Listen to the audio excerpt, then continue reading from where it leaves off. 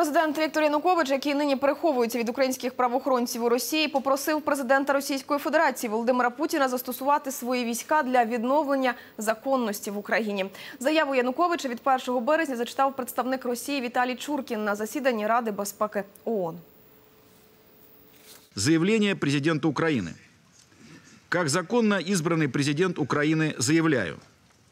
События на Майдане, незаконный захват власти в Киеве привели к тому, что Украина оказалась на пороге гражданской войны.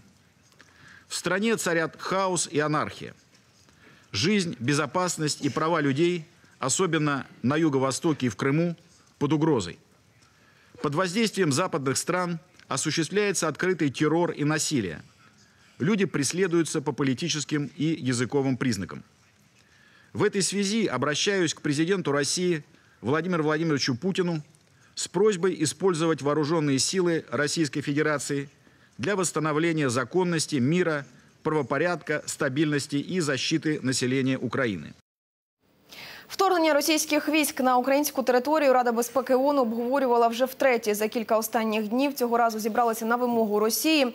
Кремль хоче, щоб чинна українська влада, яку втім Москва не визнає, виконувала угоду 21 лютого, підписану з Віктором Януковичем. Український представник заявив, що військова присутність Росії у Криму несанкціоновано збільшилася до 16 тисяч чоловік. На що посол Росії відповів, що його країна може сконцентрувати там до 25 тисяч вояків. Після засідання представники західних країн в неофіційних розмовах наголошували, що Росія так і не надала переконливого виправдання своїх дій у Україні. Навіть союзник Росії у Раді безпеки Китай наголосив на праві України на суверенітет і територіальну цілісність і невтручання у внутрішні справи України. Дискусія була жвава, та жодних рішень Рада безпеки не ухвалила. Ми чуємо голос минулого. Мені було 15 років у 68-му, коли радянські війська увійшли до Чехословаччини. Ми чули такі ж обґрунтування, нам показували такі ж документи і висловлювали такі ж припущення. Російський представник стверджує, що пан Янукович звернувся до Росії по військову інтервенцію. Нагадаю, що ми говоримо про колишнього лідера, який втік зі свого кабінету зі своєї країни.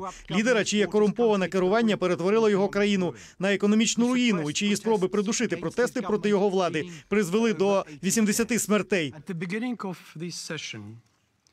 Наголошую, що наша армія зберігає стриманість і не піддається на провокації. Та я не можу навіть спрогнозувати, що могло статися, якби з нашого боку здали нерви. А від міжнародної спільноти ми чекаємо звернень до росіян, до українців, звернень усіх, хто може виступати посередником. Російська військова присутність незаконна з точки зору міжнародного права.